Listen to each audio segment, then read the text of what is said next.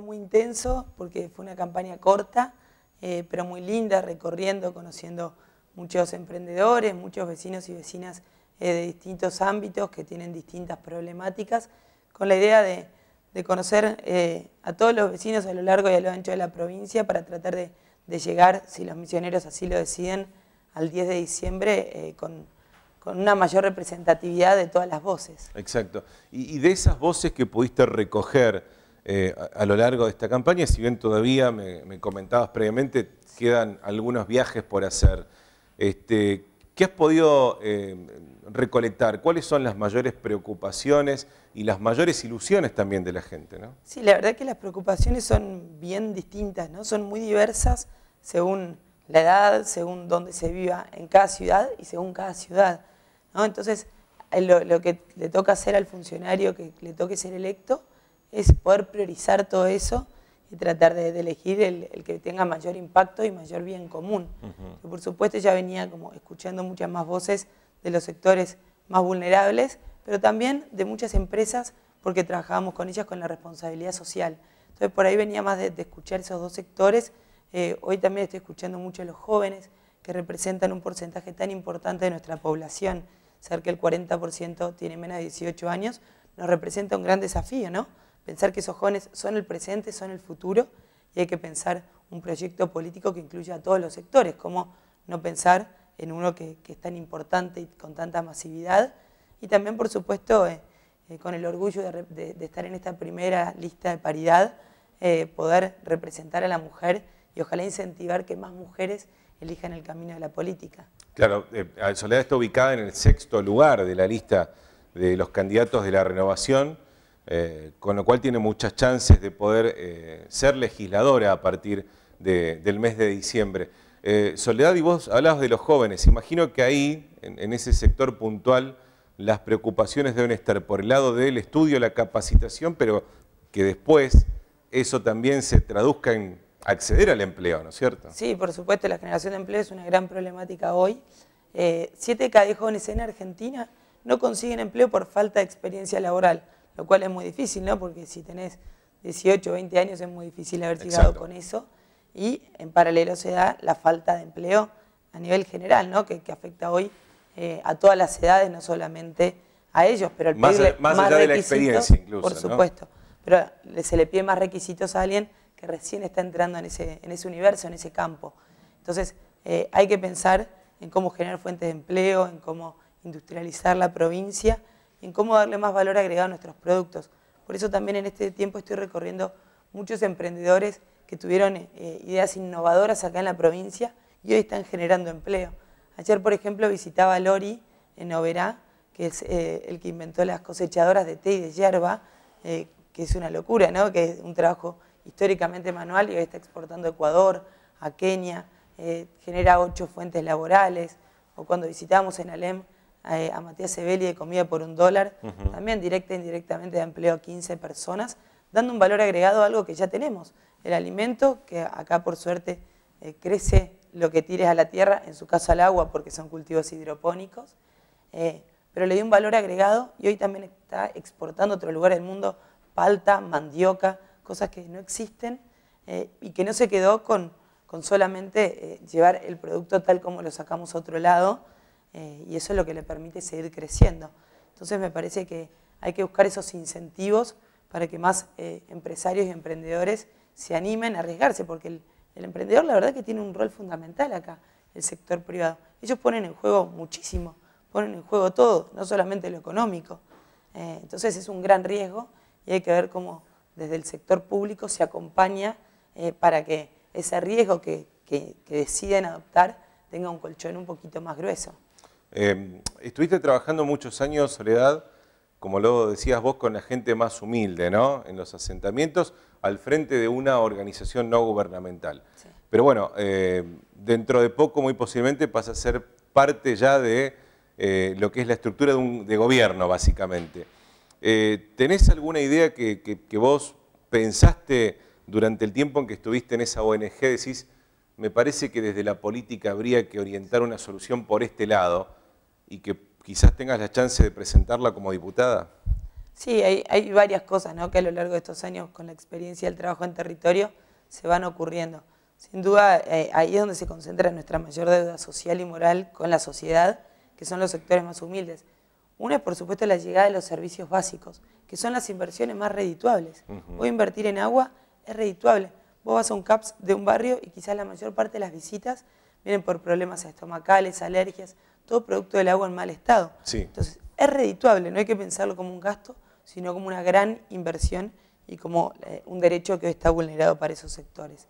Pero desde, desde la Cámara, ¿no? pensando en lo legislativo, se pueden hacer sin duda protocolos para las relocalizaciones. Hoy mismo se están haciendo en Posadas muchísimas relocalizaciones, por ejemplo, eh, y creo que hay que hacerlas más participativas. Las relocalizaciones son traumáticas para quienes la viven, entonces hay que acompañar ese proceso y hacerlo con tiempo, eh, involucrando a la familia, que conozca dónde va a ser, que puedan elegir en el caso de que se relocalice un mismo barrio, eh, a los vecinos que van a tener al lado, porque en los barrios se forman muchas redes. Entonces, tratar de conservar eso eh, para que después no sea necesario perder el empleo porque no tengas con quién dejar a tus hijos, para ver cómo va a ser el cupo en la escuela del nuevo barrio. Hay muchas aristas a tener en cuenta y sin duda también ver cómo respetar más y adaptar los protocolos de desalojo en nuestra provincia, que muchos hoy se dan por fuera de la ley sin respetar eh, todos esos protocolos internacionales a los que estamos adheridos.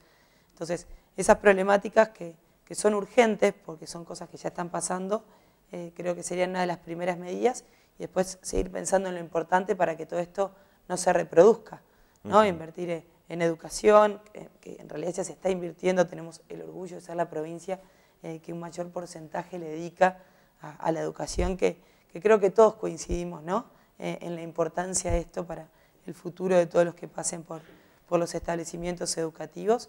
Y bueno, en el empleo y en los servicios básicos. Creo que esos son tres ejes fundamentales, ¿no? Esa piedra basal para todos. Bueno, en el tema de los servicios básicos, Soledad, siempre está el escollo eh, de que las empresas no pueden llevar la luz o el agua a un este, lugar donde vive gente que no tiene eh, la titularidad de esos terrenos, ¿no? Vos decís que a través de normativas se puede salvar esa situación como para que la gente pueda acceder a esos servicios sin que ello signifique un reconocimiento a que, a que van a ser los dueños de la tierra más adelante, digo. Sí, Porque esa es la excusa siempre, ¿no? Sí, sí, esa fue, fue siempre la excusa, afortunadamente ya no lo es, para los 4.100 y pico de barrios que se registraron en Argentina hasta el 31 de diciembre del 2016.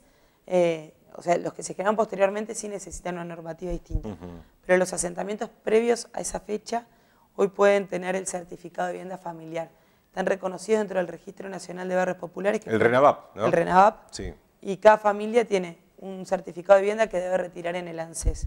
Y con eso las empresas prestatarias de los servicios ya no te pueden decir que no por no tener la titularidad de la tierra. Claro. Pueden decir que no porque no tienen los fondos para la inversión. Entonces hoy, por ejemplo, vos querés ir a pedir la luz y te dicen, no, mira, porque la instalación eh, sale muy cara, sale alrededor de 6 mil pesos por familia, porque hay que comprar el poste, hay que hacer este tablero y demás, no lo podemos hacer. Si vos lo pagás, lo podemos hacer. Entonces lo que tenemos que ver es cómo desde el Estado se acompaña esa inversión, que insisto, es redituable y que las familias de los barrios ya han demostrado en reiteradas oportunidades que quieren pagar los servicios, pero a un precio que lo puedan pagar, ¿no? También hay que acompañar con una tarifa social, porque si llegamos con el servicio básico, a las familias se hace insostenible porque tienen los ingresos muy por debajo del mínimo. Exacto. ¿Notaste un aumento de la pobreza en estos últimos años o no? Sí, sin duda. Eh, uno a estómago ya lo veía, ¿no? Como los barrios los populares iban creciendo después con las estadísticas también vemos como ya tenemos a la mitad de nuestros chicos y chicas viviendo en situación de pobreza, de nenes viviendo en situación de pobreza, lo cual es un daño irreversible. Ese nene que hoy no tiene la alimentación que debiera, eh, el cerebro no se va a desarrollar de la misma manera, eh, probablemente las condiciones habitacionales tampoco sean las mejores, el acceso en cuanto a distancia a veces a la salud, a la educación, eh, y uno de cada tres argentinos, que también es un número que se va incrementando, que viva en esa situación. Eh, sin duda los últimos años, eh, con todos los ajustes, ¿no? de, pensar la quita de subsidios a los servicios básicos, al transporte público, eh, el consumo, ¿no? el consumo se, revirtió, tuvo, lejos de, incrementarse, tuvo, una retracción y eso sin duda afecta a la economía y afecta a la calidad de vida de miles de argentinos y argentinas. Y Soledad, vos que estuviste hablando con ellos, compartiendo guisos con ellos seguramente, ¿no? Este, y construyendo su, casa junto con los vecinos, porque así era la modalidad de, techo, eh, participaban ellos también. Eh, cuando escuchás que eh, dicen, están así porque quieren, están así porque les gusta quedarse en la casa y rascarse todo el día, o porque prefieren tener varios hijos y vivir de las asignaciones que salir a, trabajar. ¿Qué, pensás vos y, qué le contestás a esa gente? Sí, la verdad que son muchos los prejuicios que cargamos ¿no? con, tantos sectores de la sociedad. Duele más cuando es con el más vulnerable. Siempre hay que ponerse al lado del más débil, que en este caso son las familias de los barrios populares. Yo cuando escucho eso lo primero que hago es invitarlo, invitarlo a un barrio a que pueda verlo en primera persona, conversar, dar esas manos, el cuero curtido ¿no? de, tanto trabajar. En los barrios populares el 75% de las personas trabajan, pero lo hacen de forma informal, con lo cual muchas veces son trabajos mal pagos, trabajos forzosos, eh, son changas que un día de lluvia no las pueden hacer. El contexto, la verdad que es muy adverso y la lucha que hay en los barrios es muy grande.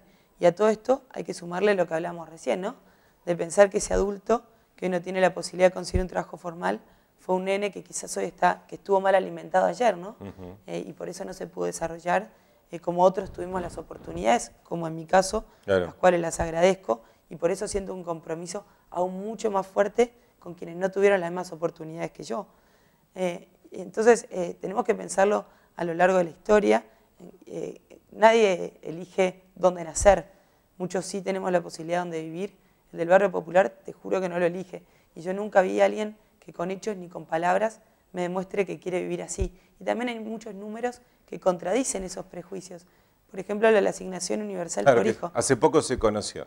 Hace poco salió en medios nacionales de mayor importancia, chequeado, lo viene demostrando hace muchos años, que la mayor cantidad de casos solo cobran por un hijo.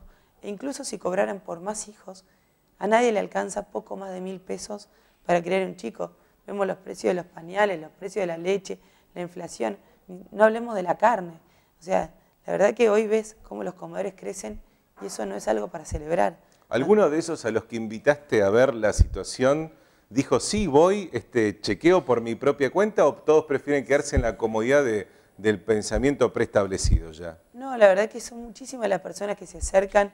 En el caso de Techo, por ejemplo, más de 80.000 jóvenes en, jóvenes en Argentina pasaron por la organización y la mayor parte conoció un barrio por primera vez a través de Techo pero también grandes empresas que decidieron apoyar al conocer la realidad y sobre todo esto que vos decías del trabajo codo a codo.